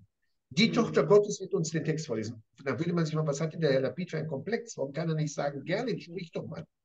Das hat natürlich eine Bewandtnis, und zwar eine sehr große Bewandtnis, weil Gott in Ezekiel etwas sieht, was Teil eines größeren numinosen, heißt geistigen Prozesses ist. Noch einmal, der einzige Prophet, ich möchte Sie wirklich bitten, das zu lernen, es gereicht Ihnen zur Ehre zu Hause. Der einzige Prophet, Künder, wie Martin Buber sagt, der nicht mit Namen genannt wird, obwohl wir wissen, dass er einen Namen hat. Er wird 93 Mal in allen aufregenden, heißen Prophetien, die an ihn ergehen, genannt, du Menschensohn, geh und verkünde. Du Menschensohn, heißt nicht, Sie kennen ja die berühmte Geschichte, nimm eine Schriftrolle in deinen Mund und die wird dann süß wie Honig. Und sie wurde süß wie mein Honig. Das sind aufregende Geschichten und Gott kann ihn doch Jecheskel nennen, ist doch kein Problem für Gott. Aber er will es, er will es nicht. Weil dieser Jecheskel, wie du eben sehr schön erklärt hast, Gerlind, der neue Mensch ist der Prototyp des erneuerten Adamsohns. Er ist der neue Adam durch sein endzeitliches Verhalten. Und Jesus lebt ja bekanntlich auch in der Endzeit. Er predigt ja ständig, dass die Endzeit kommt. Ich gehe zum Vater und ich verabschiede mich von euch. Mhm. Und meines Vaters Wohnung, ein Haus in viele Wohnungen. Das ist ja lauter Endzeit-terminologische Begriffe, Gerlin. Mhm. So auch hier. Und das liebe ich. Das liebe ich, diese Präzision des Lukas. Wenn er, wenn er Jesus nicht sagen lässt, das wäre doch für ihn ein Kunst, ein Handgriff, ein Handgriff zu sagen, ich kann ist doch für Lukas kein Problem. Wer kann das denn überprüfen? Wer will das überprüfen? Was Lukas im Jahre 80 schreibt über Jesus, der im Jahre 30 bis 33 geweckt das kannst du doch gar nicht belegen und das kannst du auch nicht widerlegen, Gerlind. Niemand war doch dabei. Und dennoch ist Lukas authentisch und lässt ihn sagen, der Menschensohn kann dies tun, weil er Jesus rücken will, indem Jesus, was er sagt, in die, in die Kategorie eines viel größeren Wesens, das nicht an sein primitives, lächerliches, käufliches Ego denkt. Jesus will kein Ego haben. Jesus braucht kein Ego. So wie viele andere Rabbiner, Jeschke, Jesekel braucht auch kein Ego. Sie finden in den 48 Kapiteln, die ich mit dir bearbeitet habe, gerne vor einem Jahr, zwei Jahren, nicht ein einziges Mal ein Auflehnen des großen Propheten Jeschke gegen Gott. Warum nennst du mich nicht mit Vornamen? Ich habe doch einen Vornamen von dir. Warum nennst du mich nicht so? Das hat Jesus Ezekiel nicht nötig, weil er auch ein Mann ist ohne Ego-Gelände. Der ist mhm. ohne Ego, der braucht nicht diese Spielerei. Jeschke, bist du so lieb? Gehst du jetzt zu den Kindern Israels? Der versteht, dass es um etwas Größeres geht als das kleine, mickrige Ego, das eh sterben wird. So auch Jesus, Jehoshua. Joshua weiß, dass es nicht um sein primitives Witzego geht. Das Ego geht eh kaputt. Was übrig bleibt, ist die Neshama, die Seele des Menschen, wenn wir in die Ewigkeit gehen. Und darum sagt er diesen Besserwissern, wie ich sie wirklich spöttisch nenne, dazu, damit ihr wisset. Wissen heißt ja im Jutum mehr als nur Wissen. Das heißt nämlich auf der tiefsten Ebene verbunden sein. Wissen ist mehr als nur oberflächlich etwas durchschauen lassen. Nämlich, ihr sollt auf der Tiefe verstehen, was ich hier wirklich mache. Denn ihr Sadduzäer versteht das nicht. Ihr seid kleinkariert, ihr seid ego-besessen. Noch einmal, ihr Sadduzäer, ihr seid ego-besessen. Euch geht es nur um euer Ego, eure Macht. Wie lange stehe ich noch in Jerusalem als der große Papst und die Kurie. Euch geht es um Ego, mir nicht. Ich will das gar nicht. Ich verzichte auf mein Jesus-Claimer. Ich will nicht, dass ihr mich Jesus nennt. Ihr könnt das euch abschminken. Und ich nenne mich selbst auch nicht ich, der große Zauberer. Ich brauche das nicht. Es geht mir um den Vater. Und es geht mir nicht um mich. Punkt. Und darum sagt er deutlich, damit ihr wisst, dass des Menschensohn, das ist der Adamsohn, der Adamsohn, den Jeschkel, wie gesagt, nennt, Und ich sage euch, ich bin ein Teil dieses größeren Geschehens, das sich unter anderem durch mich manifestiert. Und ich bekomme Vollmacht, ich mag das Wort Vollmacht nicht, das ist so billig, so ein Bankbegriff. Ich bekomme die Autorität, kannst du aufschreiben. Das ist für mich ein viel zutreffender Begriff. Ich bekomme die Autorität oder ich bekomme die, die, die Aufgabe, kannst du schreiben. Kannst du auch schreiben, Aufgabe, Berufung, Mission. Ich bekomme die Aufgabe, Sünden zu vergeben, aber nur im Namen Gottes. Denn woher weiß ich das? Weil der Begriff Menschensohn ein theologischer Begriff ist, den Gott benutzt im Prophet Ezekiel, um den Menschen anzusprechen. Das ist kein Menschenbegriff. Wenn ich dich nenne, du Tochter Gottes, kommt es aus meinem Menschenmund. Wenn aber Gott den Propheten 93 Mal nennt Menschen, sondern weißt du ja, woher der Begriff kommt und wer den Begriff geprägt hat, nämlich Gott, mit dem er Jereskel 93 Mal adressiert, durch das ganze Buch. Das heißt, es ist ein eminent theologischer, ein eminent eschatologischer Begriff. Jesus verbindet sich damit. Weil er genau weiß, er lebt in einer bedrängten Zeit und die Zeitenwende muss kommen. Spätestens im Jahre 70 fällt ja der Tempel. Hat er ja auch angekündigt in Matthäus in den Wehrufen. Und darum sagt er, Leute, regt euch doch gar nicht auf, die Sadduzäer. Was macht ihr für ein Theater? Meint ihr, es geht um mich? Ihr seid grün von Neid, das stimmt, weil ihr Komplexe habt. Aber mich müsst ihr nicht beneiden. Mich müsst ihr nicht beneiden, sondern dank Gott, dass ich von, von unserem gemeinsamen Gott, von Sadduzäer-Gott und Pharisäer-Gott die Autorität bekommen habe, und die wissen genau, was, welche, welche Spitze dem Begriff Menschensohn innewohnt, Gerlinde. Darum, darum sind sie alle so schnell wie Mäuschen am Ende ruhig, weil sie genau die Spitze Gerlind verstanden haben. Wenn er sagt, ich bin Teil des Menschensohns, das wissen viele Menschen ja gar nicht dort Christen, ist es ein sehr heilsrelevanter Begriff, von dem man sehr klein werden muss. Sehe Jecheskel. Das benutzt kein geringer als Gott, der den Menschen anspricht. Und darum sagt er, hört zu, ich habe von Gott die Autorität bekommen, damit ihr seht, wie weit das Spiel noch geht, das sogenannte Spiel. Ich werde jetzt dem Mann nicht nur sagen, deine Sünden sind vergeben, ich kann noch mehr tun, weil ich wirklich den Willen Gottes zum eigen gemacht habe, im Gegensatz zu euch. Das ist die Polemik. Mhm. Ihr könnt das nicht. Ihr könnt natürlich sagen, die Sünden sind vergeben, dem Aussätzigen zum Beispiel. Aber jemandem wirklich sagen, der da tot im Bett liegt, steh auf, nimm dein Bett und geh, und er macht das dann auf, und er geht dann heißt er, geh auf und geh. Das kann nur jemand machen, der wirklich eine, eine riesige prophetische Berufung bekommt eine, eine Vollmacht von Gott, wie Ezekiel sie ja auch bekam. Ezekiel konnte ja auch heilen, steht auch in der Bibel, dass er mit Menschen sprach und sie wurden gesund und mit Menschen führte er sie aus der Bedrängnis heraus. Und er wurde ja auch auf das Totenfeld geführt, kennst du ja, Ezekiel 37, die mhm. große Vision mhm. über die Toten. Da ist auch eine Anspielung auf seine Fähigkeit. Und er sagt es ja auch den Toten. Gott spricht, ich hauche in euch im Atem mhm. ein und auf einmal standen sie auf und die Glieder wurden mhm. groß und die Gefäße wurden schön und sie gingen durch das Feld. Daran siehst du ja, dass Gott durchaus, wenn er jemand Menschen so nennt, in einem sehr feinen Deutsch belehnen kann, altes Wort aus dem Mittelalter, behaften kann, belehnen kann mit einer Autorität, die du sonst nicht hast. Punkt. Das ist die Größe Gottes. Und das sagt Jesus, und das glaubt nehme ich sofort ab. Er kann ihm sagen, ich sage dir, steh auf, typischer Begriff Gottes auch, er maßt sich Gottes Autorität an, und die steht ihm zu. Nimm dein Bett und geh wieder die Dreigliedrigkeit, die wir letzte Woche hatten. Steh auf, das heißt, komm in die Gegend, komm auch innerlich in deine neue Beweglichkeit. Nimm dein Bett, das heißt, ergreife die Initiative. Du bist nicht mehr abhängig vom Bett, sondern das Bett ist abhängig von dir. Du nimmst es und gehst und geh heim. Wieder die drei, die heilige Zahl drei der Verwandlung. Steh, na, steh auf, nimm dein Bett und geh. Und das, was er am Anfang auch sagt, was viele Menschen überlesen, ist mir auch wichtig. Ich sage dir, ist ganz wichtig. Das ist nämlich auch eine Autorisierungsfloskel. Mhm. Verstehen Sie? Weil Gott ja immer wieder, wenn er mit, mit Mose spricht oder auch mit Menschensohn, immer wieder einleitend sagt, und Gott sprach mit Jecheskel oder mit Mose oder mit Jeremia, um zu sagen, dass alles von Gott kommt. Jesus maßt sich an, einen Begriff zu nehmen, der natürlich nur von Gott kommen kann. Dass der ihn bekam, ist für mich keine Frage, weil er diese Demut hatte und weil er ja immer wieder sagt, zum Beispiel durch dieses Passivum Divino, mit dem er das Szenario anfängt, dass es nicht um ihn geht. Ich bin nicht der große Mann. Ich will das gar nicht. Zum Beispiel ein Exorzist, da hatten wir ja die Skandale in Deutschland. Er ist kein Exorzist, bei dem es nur darum geht, schau, wie groß ich bin. Ich bin so groß, ich komme morgen in den Spiegel, in die Zeitschrift Spiegel. Darum geht es ihm überhaupt nicht. Sondern er sagt immer, es geht um Gott. Und wenn Sie die Bibel ernst nehmen, die Evangelien, wissen Sie genau, dass es Jesus nur um den Gott geht und nie um sich selbst. Das passt in das Bild. Und nachdem er am Anfang ja schon gesagt hat, deine Sünden sind dir vergeben, dieser jüdischen Deutung, das ihm sagt er, weißt du was, damit ihr seht, was ich noch kann durch Gott, das könnt ihr nämlich nicht. Ich werde ihm jetzt sagen, durch die Macht Gottes, Menschensohn, das ist eine Autorität, die ihm gegeben wird, ohne Benutzung von Ich. Das macht ihn ja so demütig und glaubwürdig. Das macht ihn demütig und glaubwürdig. Nämlich nicht ich. Ich will kein Ich haben. Er hat sein Ich, ich ausgelöscht. Im Namen Gottes, im Namen Gottes, der ihm den Titel verleiht, ihn belehnt mit Menschen, habe ich die Macht, ihm das zu sagen und schon passiert ist und dann stand auf und dann kommt das Schöne, ging er hin und pries Gott. Wenn, jetzt mal eine Frage an dich, die du beantworten kannst, wenn Jesus sich im Vordergrund gehabt hätte und sich groß sehen will, was hätte der Mann dann sagen müssen? Ja, der hätte eigentlich vor Jesus niederfallen müssen genau, Genau. Und genau darum liebe ich diese Stelle, weil er nicht Jesus vor die Füße fällt und ihn küsst und abstreichelt, sondern sagt, ich denke doch gar nicht dran. Ich mache genau das, was du wolltest, nämlich Gott preisen, denn Gott wirkt durch dich. So deutlich, verstehen Sie, kohärent meine Arbeit, so deutlich ist sehr messerscharf, weil der Mann sofort erkannt hat, dass es nur um Gott geht und nicht um den Menschen. Er hätte doch gesagt, Jesus, darf ich dich abküssen? Darf ich mit dir, weiß ich, durch die, durch die Ländereien ziehen? Denkt er doch gar nicht dran. Hat man letzte Woche doch auch, dass die verkrümmte Frau Gott pries. Gott Vater steht im Vordergrund. Das heißt, hier arbeiten Menschen kongenial. Jesus weiß, dass der Mann ihn versteht. Die anderen tun sich noch schwer, die Sadduzäer. Die kommen langsam erst zur Erkenntnis.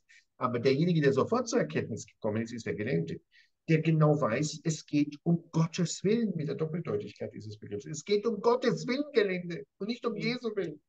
Nein. Und darum sagt er auch, in einer Sekunde, er, ging, er, er hat es verstanden, was macht er auf? Er macht die Augen auf, nimmt das Bett, auf dem er gelegen hat, ging heim und preist. Hier aber auch wieder eine, eine Mehrgliedrigkeit, als man, er steht auf, nimmt das Bett, geht, wir haben drei und eins, das heißt drei und die vier, vier macht die Geschichte vollkommen. Die viergliedrigkeit, die Vierelementigkeit der Schöpfung. Noch einmal, wie Jesus ihm sagte, erstens die Augen auf, das heißt, die Augen, er konnte wahrscheinlich auch nicht sehen, es wird ihm etwas klar, was ihm nicht klar war, nämlich, dass Gott ihn heilen wird, das ist auch eine symbolische Bedeutung. Es wurden ihm die Augen aufgeklärt. Wer hatte das auch? Paulus vor Damaskus, war ja drei Tage blind, Apostelgeschichte 9, und die Augen gehen ihm auf, die inneren vor allem, nicht die äußeren. Und hier steht es auch in Vers 25, er, er stand auf, vor ihren Augen, die, wobei angedeutet wird, Augen hat ja die Bedeutung eben, dass es allen die Augen aufgeht, stand auf, nimmt das Bett, ergreift die Initiative, er ist einsichtig geworden und auf den er gelegen hatte, geht heim und kurz davor preist er doch Gott. Drei plus eins gibt vier. Und das liebe ich daran, an der Authentizität des Lukas. Lukas hätte das reinmogeln können, wenn er mhm. christozentrisch wäre bis zum Exzess, hätte sagen können, preis Jesus. Wer kann das prüfen? Kann doch alles zusammenschreiben. Finde ich groß an Lukas. Ich liebe Lukas. Sie sehen, wie ich ihn schätze.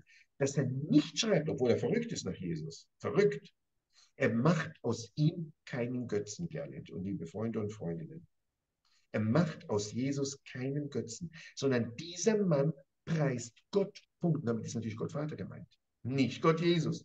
Das gibt, das gibt es nicht bei Lukas oder bei den anderen. Das ist alles nur christliche Uminterpretation viel später. Und dann geht es weiter, da gerieten alle außer sich vor Staunen. Ich vermute, langsam kommen auch die Sadduzäer in die Gänge das liebe ich auch bei Lukas, alle gerieten aus und sie priesen Gott. Das ist so schön, alle preisen Gott. Auf einmal merken sie, ah, wenn der das kann, können wir das auch. Niemand preist Jesus, Gelände. Dir wurde über Jahrhunderte etwas Falsches vermittelt. Jesus ist Gott. Das stimmt nicht. Nicht aus den Texten der Bibel. Das ist Christologie. Sie preisen ihren Gott. Es steht doppelt da. Doppelt. Erstens preist er in 25, dann sechstens steckt das an und alle priesen Gott Zebaoth. Das liebe ich. Wie verrückt. Und anschließend wurden voll Furcht, Furcht ist natürlich die Ehrfurcht, nicht die Furcht, ist auch ein falscher Begriff. Das ist diese, diese Ergriffenheit, Jira auf Hebräisch, Jira, J-I-R-A. Jira heißt Ergriffenheit, das ist auch so billig mit Furcht wie vor einer Spinne oder einem Atomkrieg. Das ist dieses, Jira ist Ergriffenheit, nenne ich es alternativ auf Deutsch steht. Eine tiefe Ergriffenheit durch die Präsenz Gottes, in Gestalt eines Gesandten namens, Joshua. Und sie sprachen, jetzt müssen sie auch etwas aussprechen, natürlich, wenn er spricht, müssen sie ja aussprechen, sonst stimmt das Bild nicht. Wir haben heute unglaublich, hast du es bei dir? Er sagt ja bei mir Unglaubliches. Im Hebräischen steht, wir haben Großes gesehen. Sagst du uns gerade, was David Stern sagt? Wir haben heute außergewöhnliche Dinge gesehen. Ja, genau. Im Hebräischen steht Großes, Gadol, was ich mehr mag als dieses Wischiwaschi da Unglaubliches, Außergewöhnliches. Mhm. Das heißt, du siehst, das, was Jesus und was Lukas erreichen wollte, hat er erreicht.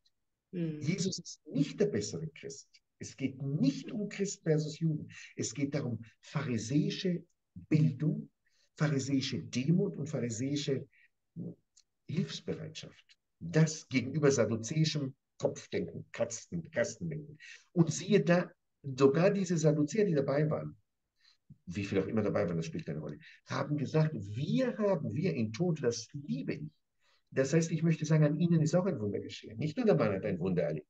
da ist auch etwas Wunderbares, Wundervolles mit ihnen geschehen, dass die konzertiert sagen können, wir haben heute hier in dieser Situation ganz konkret etwas gesehen, womit wir nicht gerechnet haben. Da liegt ein Mann da und ein anderer Mann, der sich auf Menschensohn beruft, völlig demütig, bescheiden, ohne Spektakel, sagt ihm, steh auf und er geht. Das hat sie über den, über den Haufen geworfen, über ihre Ideologie, wonach nur sie alles können, die Sadduzäer. Und das will Lukas zeigen. Ein einfacher Mann, damit sind wir gleich am Ende, muss auf die Uhr schauen, genau, eine Stunde. Ein einfacher Mann aus dem Volk, der wirklich unbekannt war, der keine Titel, nichts, vermag durch seine Demut und vermag durch seine Verbundenheit mit Gott, ich betone es ganz deutlich, damit Sie das wirklich was Tiefes mitnehmen, durch seine Verbundenheit mit Adonai, siehe Menschensohn und siehe Passilum Divinum, mehr zu bewirken, als Sie wahrscheinlich über Jahrzehnte probiert haben und niemand ist aus dem Bett legen und Bett aufgestanden. Wahrscheinlich haben die das auch probiert. Innerhalb ihres Rahmens haben sie natürlich gewirkt. Du hast Aussatz, zeig mir mal die Flecken, sind da Flecken? Nein, du bist gern, du bist freigesprochen. Ich möchte, möchte es nennen, das habe ich mir heute in der Synagoge ausgedacht für unsere Arbeit, dieses Funktionierstum, das über, über, überwältigt ihr. Kannst du notieren. Dieses Funktionierstum. Die Sadduzäer sind Funktionäre. Wie wir es immer gelernt haben. Rein mechanisch. Hast du Aussatz? Fertig. Hast du keinen? Bist gesund. Aber Jesus ist jenseits dieses Funktionärstums. Er ist ein Mann des Herzens. Er hat diese Herzensweisheit, die in der Bibel ja genannt wird. Denkt an Salomo, der gesagt hat, gib mir ein weises Herz. Mhm. Er denkt mit dem Herzen, die anderen denken nur mit dem Hirn. Das bleibt nur bis hier. Bei Jesus geht es runter. Sehr viel runter. Und das macht diesen Juden Jesus, nicht den Christen. Den gibt es nicht. Nur in der Fantasie. Er ist ein Jude. Diesen Juden Jesus, der Ezekiel kennt, den ja Menschen so wird, das macht ihn mir so sympathisch. Und das macht, und auch in den Augen Lukas, ich rede aus der Sicht Lukas, Lukas, der bestimmt kein strenger Jude war, sondern ein messianischer Jude, darf er ja, hat ja in Jesus etwas erlebt, was sein Leben verändert hat. Und dennoch liebe ich bei Lukas diese Liebe, diese Authentizität zum jüdischen Original. Er wird die Geschichte nicht umdrehen. Er könnte noch einmal mit Leichtigkeit sagen, und alle warfen sich vor Jesus nieder, wie in, wie in Schenstocher oder in Altötting. Ein Riesenkult mit Jesus. Und die Mutter Gottes kommt dann auch noch rein. Und ein Riesenchaos. Das, das Unappetitliches kann er machen. Lukas kann alles machen. Alles kann er machen. Macht er nicht. Weil er ein präziser jüdischer Denker ist. Jesus ist eher ein jüdischer Denker. Aber auch Lukas, der ja sich dem messianischen Glauben anschließt, darf er ja, ist ein präziser jüdischer Denker, der nicht Texte verbiegen wird, damit Jesus zu Gott wird. Gerne, was sagst du? Ja, ich danke dir erstmal ganz herzlich. Du hast so unglaublich viel wieder aus dem relativ kurzen Text herausgeholt und vor allen Dingen natürlich diese, äh, diesen großen Kontrast, diese große Differenz zwischen den Sadduzäern und Jesus. Und ähm, ja, ich hatte ähm, ganz andere Assoziationen, während du das interpretiertest. Ich dachte, man kennt sowas ja auch aus heutiger Zeit. Ist ja. gar nicht so, äh, nur, ne, ist einem irgendwie so recht vertraut. Jedenfalls ja. als ehemaliger Katholik. Ja. Und ja, also ganz herzlichen Dank dafür. Und äh, ich denke auch diese Begriffe Menschensohn, dabei fiel mir übrigens ein, dass es mich früher sehr gestört hat, bei, dass ich bei Ezechiel dann immer las in der Übersetzung Menschenskind. Und ich dachte immer Menschenkind, du Menschenkind. Das klingt, also es klang in meinen Ohren natürlich immer so ähm, verkleinert. Ach du Kleiner, ja. so ungefähr. Ja, das genau. äh, finde ich sehr schade, dass da die das Übersetzung. Verniedlichung ist textinkompatibel. Ja. Es ist wirklich Adams Sohn, Ben Adam. Und das ist die Korrektur des alten, sündig gewordenen Adam, der nun in Gestalt dieses Eskel von mhm. Gott berufen wird. Du bist heute die Korrektur dieses sündigen Adams. Du bist heute mehr denn je mit mir mhm. verbunden. Und mit dir beginne ich eine neue Epoche. Das weiß Joshua, der kennt einfach seine Bibel. Jesus kennt die Bibel und ich sage es ihm wirklich am Ende in aller Deutlichkeit, sie gereichen sich zur Ehre und zur Freude, wenn sie die Bibel wirklich gründlich studieren. Jesus ist ohne die Tora, aus der er jeden Gramm seines Denkens schöpft, nicht verständlich. Sie haben es heute Abend gemerkt. Sie können viel aus Texten machen, aber sie tun Jesus Unrecht und zwar schreiendes Unrecht, wenn sie ihn christologisieren, ohne dass das ein Hand und Fuß hat. Sie haben ja heute gesehen, wie ich sauber am Text arbeite. Und das, das zeugt wirklich von Liebe zu Jesus. Ich sage es Ihnen ganz offen. Ich liebe diesen Mann, weil er so ein Jude ist, wie wenn ich ihn heute in Haifa im Oktober 23 vor mir sehe. Ein so tiefer Jude. Wenn ich ihn heute in Haifa sehe, wir würden uns umarmen und stundenlang umarmt in der Innenstadt von Haifa stehen, weil wir per Herz, nicht per Kopf, im Herzen so miteinander verbunden sind, obwohl ich kein Christ bin. Und weil ich kein Christ bin, liebe ich Jesus mehr als mancher Christ. Mhm. Ja, Juval, also ganz, ganz herzlichen Dank wieder für diese Auslegung. Und ja, dann wünsche ich dir noch gesegnete Feiertage. Mehr, ne? Du hast das perfekt ausgesprochen. Liebe Freunde und Freunde, ich verabschiede mich. Jederzeit bin ich ansprechbar über WhatsApp. Sie finden meine, heute wie, wie Sie genannt haben, Koordinaten. Rufen Sie mich an, zögern Sie nicht. Es gibt viele Menschen, die mir sagen, Jubel, können wir mit dir Privatunterricht bekommen, können wir, weiß ich, mit dir korrespondiert gerne. Sie finden mich im Internet, was gibt es da noch im Facebook und in WhatsApp und alles finden Sie alle unter Jubel Lapide. Gerne antworte ich Ihnen. Und ich grüße Sie aus Israel im Rausch, im gesunden Rausch von Sukkot, Laubhüttenfest, zur Zeit Jesu auch gefeiert, mit viel Verbundenheit und Freude an der Tora Gottes. Shalom und danke. Shalom. Danke, Gelinde.